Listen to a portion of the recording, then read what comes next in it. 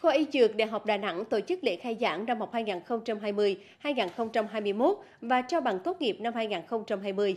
Năm học 2019-2020, Khoa Y Dược Đại học Đà Nẵng cũng chịu nhiều ảnh hưởng từ hai đợt dịch Covid-19 và các đợt mưa bão vừa qua. Nhà trường đã chủ động điều chỉnh kế hoạch tuyển sinh để đáp ứng đủ tiêu chí cho năm học mới với 261 tân sinh viên ưu tú thuộc các khoa y đa khoa, răng hàm mặt, dược học và điều dưỡng trong tổng số gần 3.000 hồ sơ dự tuyển từ khắp mọi miền cả nước. Năm học 2020-2021, Khoa Y Dược Đại học Đà Nẵng tiếp tục đón nhận sự quan tâm đầu tư của Đại học Đà Nẵng với nguồn vốn trung hạn của chính phủ hơn 100 tỷ đồng và gần 200 tỷ đồng từ nguồn vốn ODA của ngân hàng thế giới, góp phần nâng cao chất lượng đào tạo, phấn đấu phát triển thành trường Đại học Y Dược Đà Nẵng.